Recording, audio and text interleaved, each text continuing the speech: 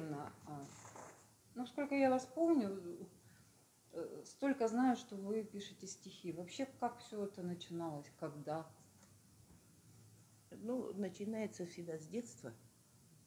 То есть э, где-то уже в первом классе я э, сделала свою маленькую книжку. Это называется «Детский мо-эскиз», то есть мое искреннее издательство. Вот. И написала немного, немного стихотворений. В школе я считалась поэтом, но я, конечно, не считаю те стихи какими-то значащими или вызывающими какие-то эмоции. Это просто мне хотелось писать. Потом много лет э, я не писала серьезных стихов. Я вообще серьезных стихов э, не писала долго.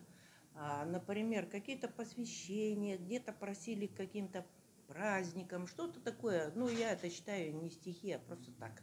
Это все мы пишем всегда. Э, многие могут писать. А примерно где-то лет в 50 когда я влюбилась сильно, да, и познакомилась с поэтом, очень жарко, но я не могу это даже... Э, я э, вдруг стала э, писать стихи. То есть эмоции вызывают стремление что-то написать. Этот поэт, он жил в Пятигорске, он мне дал свои стихи, и, и вот почему-то мне захотелось ему в ответ написать, и потом пошли. Я думала так, несколько стихотворений, и все. А потом почему-то оно стало выливаться дальше. Через какое-то время еще, и вот в результате стали появляться стихи. Э, значит, я лет с 50 только стала писать, я считаю. Можете почитать вот те стихи, помните вы их, которые были тогда написаны? Совсем ну, например, э, таракан.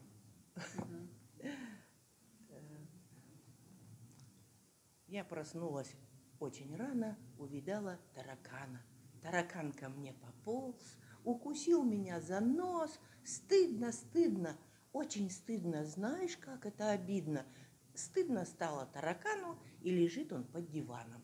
Ну, такие э, маленькие, непритязательные стихи. Вы с какого времени, с какого года э, в литературном объединении Возрождения? Были а... ли вы еще до этого? Нет, с самого начала, э, да, с самого начала. Э, и даже еще когда Федорова у нас, э, Галина, э, собирала нас э, в своей редакции, э, э, самую первую они меня пригласили, я пришла одна, Григоренко и она э, была и они со мной проводили часа два беседу почему-то так долго, потому что больше никого еще не было. Потом начали появляться поэты, вот. а потом когда-то мы перешли в свободное плавание, то есть уже под руководством Демидовой. Угу. Вот. И уже с самого начала, да, мы э, с ней вместе рука об руку идем. А, я, насколько знаю, Татьяна Николаевна все равно правит стихи, направляет, подсказывает. Как с вами? А, э, обязательно я ей всегда читаю свои новые стихи. И, и бывало, что да, некоторые поправки она э, делает, вернее, она подсказывает, что вот здесь что-то не то, там э, вот, э, ну я понимаю быстро, как говорится, вот. Один раз тоже, уже когда я первую книгу выпустила, а, я попала в больницу в Ханты-Мансийск. И одна женщина, она такая там небезызвестная, а, она тоже попала со мной в одну палату. И я вот ей стихи свои показала, и она говорит, вот давайте вот э, мы соберемся с вами ненадолго там в, коридорчике. И я вам кое-что подскажу. Угу. И, и она мне указала на некоторые вещи, которые я вообще не знала. Потому что мы начинали так просто пишешь, да и пишешь, э, мы правил не знали особых угу. Рифма, ритм это у нас еще соблюдалось. А вот э, мужская, женская рифма, там это, мы это совершенно не знали, и что надо, например, свою тему вести течение стихотворения как сочинение, мы тоже еще это все таким путем сложным шло. Но нельзя сказать, чтобы сложным, но интересным. Интересно. Да. И, и я э, начала перерабатывать свои стихи. И сразу, ну вот, некоторым людям я хотела сказать, что а, можно одну поправку сделать, он уже поймет. Мгм. А некоторые, например, годами пишут, а, они, а как пишут, так и все. Но я, например, конечно, учусь на ошибках. И поэтому, да, и с Татьяной мы всегда, и новые стихотворения я обязательно и читаю. Вот она там скажет, ну, хорошо. Ну, сейчас уже практически поправок у меня нет, конечно. Вот, а, но она тоже со мной советуется. Вот. И, и- тоже потому что мы уже, у нас такая дружба э, творческая уже э, давненько. В общем-то, получается, век живи, век учись, да? Все Да, равно оно да. где-то новое Конечно. не отталкивайте от себя. Да, мы, мы, мы еще изучали материалы из интернета э, по написанию стихов. э, и тоже кому надо, те всегда прочитают и много для себя возьмут. Оказывается, целая наука. Есть какие-то стихи, которые вы никогда никому не читали, вот написали и положили себе в шкафчик, там, в тумбочку. Я всегда э, э, такие стихи э, читала Демидовой. Мгм. Вот. Но на людях не читала, потому что это тяжелые стихи. Например, э, когда моя мама ушла. Мгм. И такие стихи просто невозможно не написать, потому что когда тяжело на сердце, хочется выплеснуть, выплеснуть. И ты, э, я написала серию стихов, а, так, тяжеловатые. Э, Вот, они хорошие стихи, э, но я их э, не публикую. Вот такие стихи. Ну, А остальное я все могу, конечно, любые свои и любовные, и свои там еще какие-то приключения, это, это все можно писать. И, и на людях, выставлять на люди. На, на люди. Людям. Часто вас приглашают вот, на выступления, на концерты, на встречи с э, жителями. А, Как вы на э, это Нет, не часто. А, Не часто, потому что я, я сама не считаю, что надо часто на публике бывать. Э, Я считаю это очень надоедливо, когда один человек все время ходит, как это, это как называется свадебный генерал, что ли, вот э, выражение, что вот он ходит и здесь, может, и там, и он и здесь, и там. Э, Я не люблю вот такого слишком публичного к себе э, интереса. Вот. И когда иногда мне нравится с, лю- с людьми встречаться, и в концертах, конечно, особенно когда наши мероприятия литературного э, нашего Объединения. э, конечно, обязательно мы там участвуем. Вечность. Мелькают дни неудержимо, пестря заботами, делами, и время мчит неумолимо, неуправляемое нами. В ветвях тайги закат пылает, и лава облаков проворных плывет за ним у леса тая, скрываясь там в чащобах черных. Рассвет и день и так по кругу. Рождение, свадебные ленты, любовь к подруге или другу. Не умирают лишь легенды. Вот здесь такое стихотворение «Не споткнись». Оно недавно написано, даже правки уже есть. Э, То есть э, в книгах э, еще нет этих стихотворений. Ну, такое э, раздумчивое, так сказать, может, философское. Не споткнись. Почему наступаешь на треснувший лед? Не всегда тормозишь, где крутой поворот. На авось уповаешь в опасных делах. Ты пойми, что судьба лишь в разумных руках. Пополняя обид, нескончаемый счет, почему не уйдешь, если он тебя бьет, заставляя стенать и испытывать страх, все порви и уйди, все в свободных руках. Почему ты робеешь, не смея дерзать? Почему о любви не решишься сказать? Почему не летишь, когда крылья в размах? Ты же знаешь, судьба лишь в отважных руках. Лишь вопрос, вопросы. А в чем же ответ? Сколько стоит к удаче счастливый билет? К светлой цели иди, не споткнувшись в потьмах, и судьба улыбнется в надежных руках. Свеча. Вот эта э, свеча э, написана э, в 2002 году. Но по ней, вернее, на ее стихи уже есть песня у автора из, из Урая. Не у Саши Васильева, а есть его друг Негреску фамилия его. И вот он написал песню. Ну, видимо, стихи затронули его душу. Горит свеча, в душе печально, сверкает иней на стекле. Так уж случилось, я в отчаянии, что ты пришел, но не ко мне. Свеча мерцает от дыхания, а мысли вновь несут меня.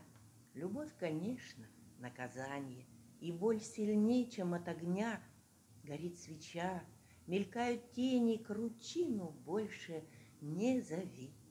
Освобождаюсь от сомнений, а думай снова о любви. Да, а что проще писать? Писать о чувствах, о любви, какие-то философские, или, может быть, о природе?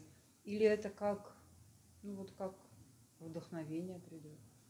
Это всегда вдохновение – Э, я никогда не, э, ну, никогда не говори никогда, э, у меня были стихи, когда по заданию, так сказать. Угу. А по заданию это, например, когда я в школе, у нас еще не было литературного объединения, я уже писала стихи, Игорь Каркишка там работал, и, и нам давали задание, например, какой-то гимн сочинить. Угу. Вот, и я писала стихи, например, там э, пожарникам. Вот. Mm-hmm. И, и они с этим гимном, э, а музыка была как раз Игоря Каркишка, я еще тогда мелодии не сочиняла, mm-hmm.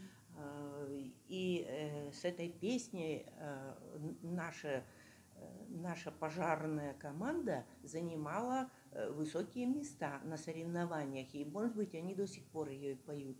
К примеру, вот такие.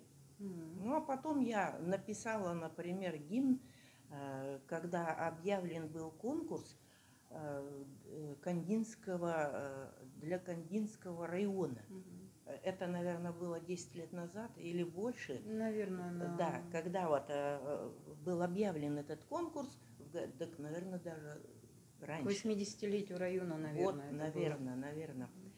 И тогда я изучила материал, стала сочинять.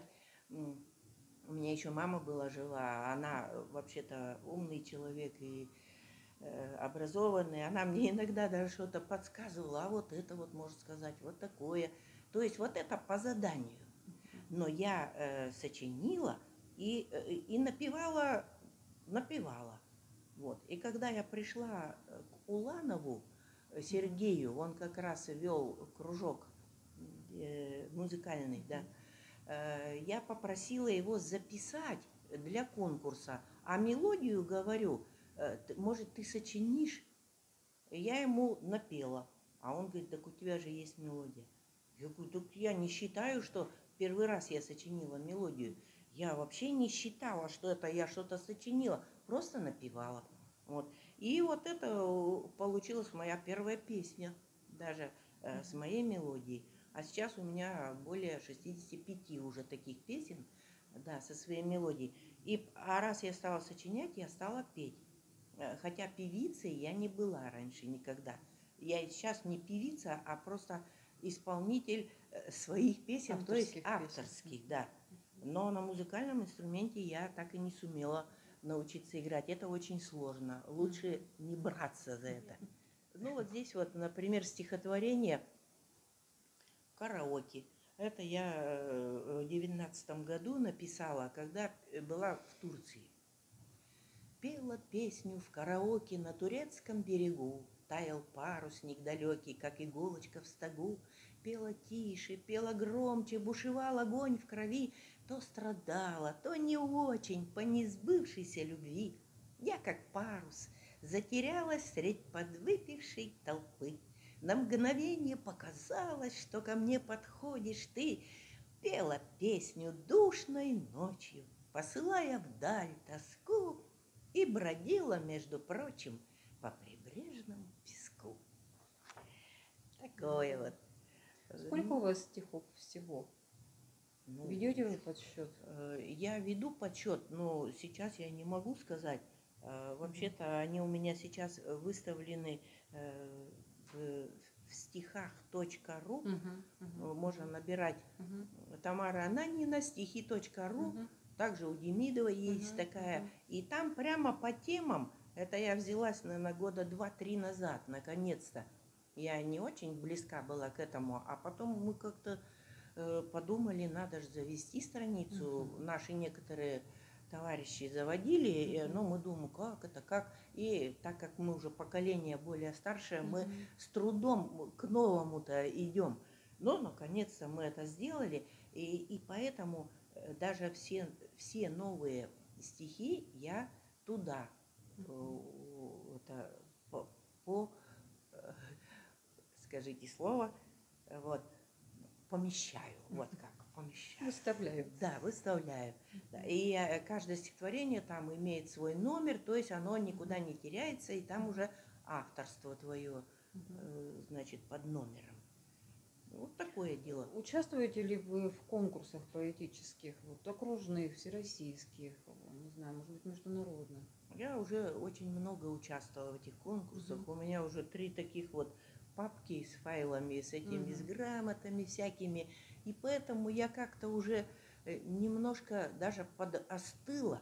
Но э, с одной стороны подостыла, а сейчас, например, уже э, вот в нашем ДК вот сняли недавно мою золотую вот эту бабу, послали на конкурс. Мгм. То есть они уже видео посылают, уже другим путем идут.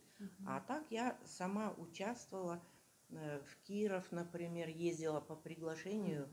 А, Такое крупное событие было, когда я в, в Гренландии, такой конкурс есть, Грин, зеленая страна, я заняла со своей песней, Катюша, э, высокое место, лауреат. Там их совсем немного, из многих-многих отбирают, каждый месяц отбирают, а потом еще из тех, которых каждый месяц. И, и вот меня пригласили туда, и я там выступала со своей песней уже вне конкурса, пела. Мгм. Ну, такое крупное э, было мероприятие. А так, э, конечно, я уже много участвовала в конкурсах. И э, так как я человек не, не такой, ну, я так считаю, что я немножко подвигаюсь, чтобы и другие тоже. Вот Мгм. мне почему-то хочется, чтобы и другие, вот кто за мной идет, а то вот раньше, когда мы это начинали, другие люди не участвовали нигде, а мы начинали, вот я, Демидова там, и еще у нас были вот, которые костяк, мы участвовали, ну, тогда могли вот э, э, вызывать этим даже зависть и Мгм. говорить, вот, ну вот, все, Тамара да Тамара, там, вот, Демидова да Демидова, ну, типа даже вот неприятие. А я к этому отношусь э, э, болезненно. И поэтому я вот сейчас во многих случаях м, стараюсь, чтобы и другие люди выходили вперед. И тогда им не жалко, что если у меня успех, и у них успех. э, То есть мне хочется, чтобы у людей тоже был успех. Вот в таком смысле. Почитаете еще? Да, вот, например, «Нечаянная любовь». Это когда-то я была в санатории, э, там был один музыкант. И, и я на эту тему тоже, э, тема всегда должна быть, что-то тебя за- затронет, и ты, например, начинаешь писать. Называется «Нечаянная любовь». Заиграй, музыкант, нескончаемо, И меха растяни души. Бурной музыкой беспечальной Ты кручину свою заглуши. Проклиная разлуку, дорогу, Мне с тоскою во след погляди, Колокольным набатом тревогу, Ощущая невольно в груди, Вновь развеют печальные грезы Ветры с гор и весенний рассвет. Помни песню о грустной березе И любви, пусть нечаянный свет. Вот такие. Они немножко лирические, немножко грустноватые, немножко ностальгические.